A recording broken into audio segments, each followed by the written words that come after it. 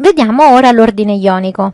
Nelle regioni orientali del mondo greco, nelle isole e sulle coste della Ionia, alla concezione matematica dell'architettura sacra si aggiunsero spunti fantasiosi tratti dagli elementi naturali, ad esempio palmette, girali d'acanto, volute ed anche animali. La decorazione predomina e il tempio non è più concepito come un solido, ma come un recinto monumentale dal canone proporzionale più agile, a cui non occorrono espedienti per correggere la percezione ottica, il tempio poggia sul plinto, cioè un po' di elevato.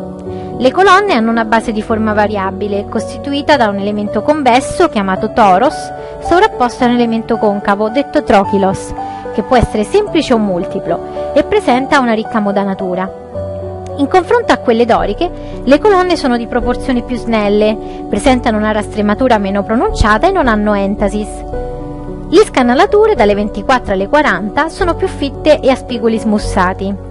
Il capitello è caratterizzato da volute laterali che si sviluppano a spirali e probabilmente sono la stilizzazione di volute vegetali. Fra queste volute c'è una fascia decorata, di solito ad ovuli o a perle, invece sopra c'è un sottile abaco. L'architrave è modanato a tre gradini e sopra, spesso, ma non sempre, c'è un fregio figurato continuo. Sopra e sotto il fregio ci sono due fasce di raccordo, sempre decorate. Il fregio ionico, molto efficace dal punto di vista narrativo, a partire dal V secolo a.C. si trova anche nel deambulatorio e all'interno della cella di alcuni templi dorici.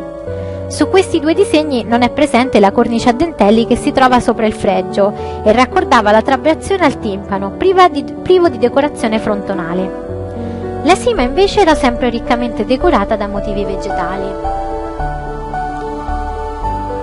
Templi ionici di maggiori dimensioni sono di solito ditteri, cioè hanno una doppia peristasi, cui si può aggiungere un'ulteriore fila di colonne sulla fronte anteriore, e sono spesso privi di opistodomo. Il pronao è molto profondo ed ospita il prolungamento del colonnato interno.